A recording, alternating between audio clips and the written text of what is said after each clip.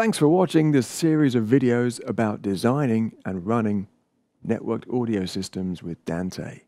This is video 3, and we're taking a look at Yamaha's LAN monitor software, how it helps you to keep an eye on the network and all the attached equipment.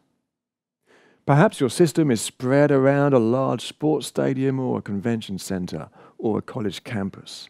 So it would take a long time to physically inspect each device and connection.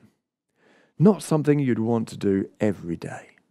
So LAN Monitor provides a useful visual inspection of the network, indicating each connection and connected device, and monitoring the bandwidth used by each switch port. It works with a full range of Yamaha SWR and SWP switches, and it runs on Mac OS X and Windows 10, 8.1 or 7.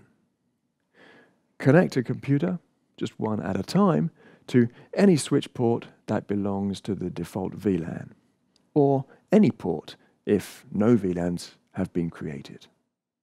And the devices will be automatically detected. No IP addresses need to be made at this point. It uses a proprietary discovery protocol called L2MS, Layer 2 Management Service. All the Dante devices will be detected using the same discovery method as Dante controller software, which can be launched directly from LAN Monitor, by the way, using the icon in the top menu bar. By selecting a Dante device in the left tree view, LAN Monitor offers a concise view of its status, including number of transmit and receive flows, bandwidth usage, sample rate, operating latency, and its redundancy setting. It's often easier to monitor here than scrolling through several different pages in Dante Controller. Select a switch in the left tree view and the connected devices will be shown.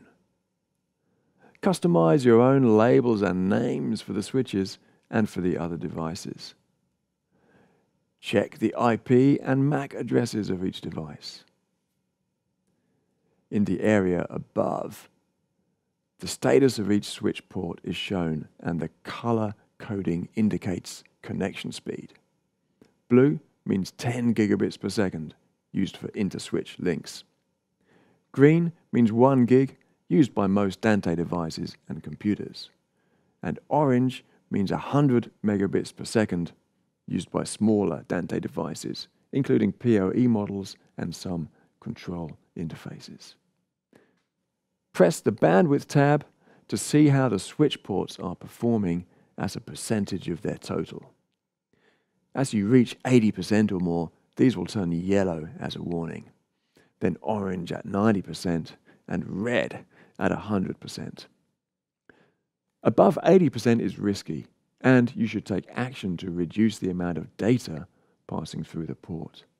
Or upgrade the device to allow greater bandwidth, like use a switch with 10 gig ports. In the next video, I'll give you tips about reducing the bandwidth used by Dante in a network. So look out for that. But as a rough guide, you could consider that each transmitted channel would use about 2 megabits per second if it is 48 kilohertz 24 bit. So that would limit you to around 400 channels safely within a 1 gig link.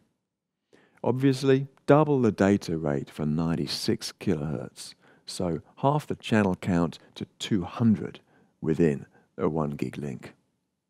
With a switch that provides PoE, such as the SWR2311P 10G, you get an extra tab to show the PoE status of each port. At the top of the LAN monitor window, you find a snapshots icon. Press this to save the connection status of all the devices. Then, whenever something disconnects, you get a red notification.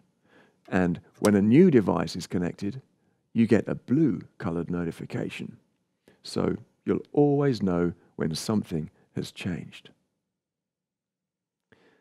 Certain switches, including the SWR2310 series and the SWP2, will allow a whole network map to be viewed and printed when LAN monitor is connected to it.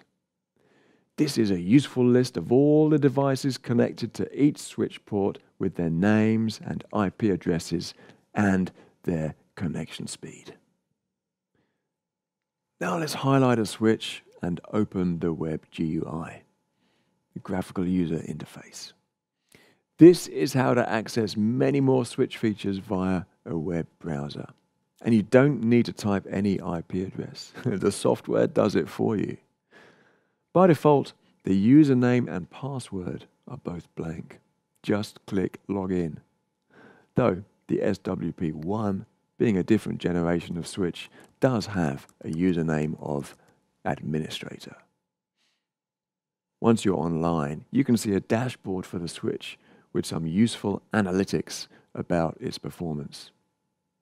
You can access detailed settings such as link aggregation, VLANs, and IGMP snooping. I'll tell you more about how to use them in Dante networks during the next few videos. And the Management tab allows you to save all the switch settings, restrict certain users and devices, and update the firmware. It's a good idea to do that because new firmware has recently added some nice new features, including radius server settings to help manage the network security. I'll also tell you about that in a later video. So let me show you how to update the firmware first.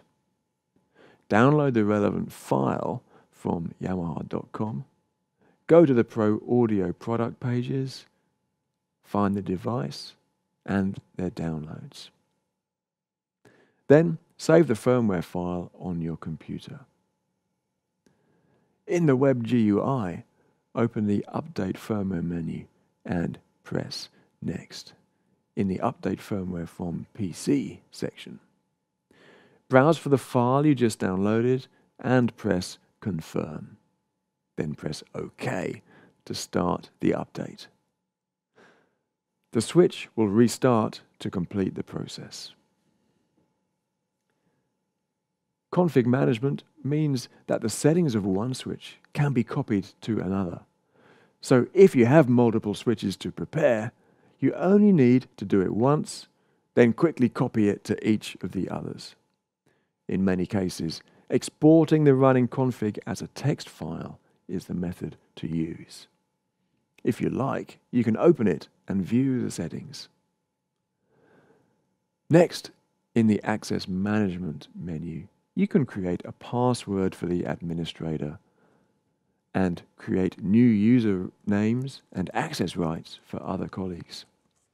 In case you want to allow some people to view the dashboard and logs but not change any config settings, for example.